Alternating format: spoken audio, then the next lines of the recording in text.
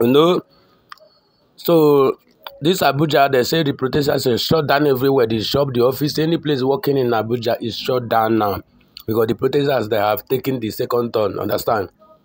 Yeah, this week you say you are the minister of Abuja, FCT, but uh, you did not know anything because you feel like Itinubu is giving you something to eat and we are hungry in the street.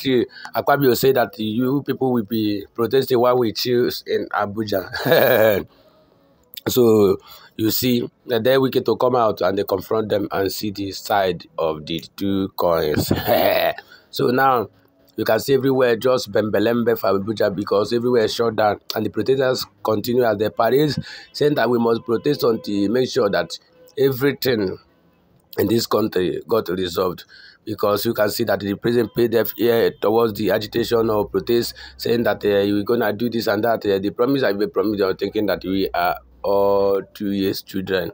So what do you feel about the Put in the comment section. My name is Osidon Store. You can call me also in Jibakowadegu just like you can Try to comment, share, and subscribe to my YouTube channel, Osidon Market TV, and the, on X, which is Twitter, Mosi Mike and Osidon Official on Instagram, on Facebook, I'm Osidon Don, Osidon Entertainment, Osidon Stores, and Osidon Links, Osidon Comedy Studio.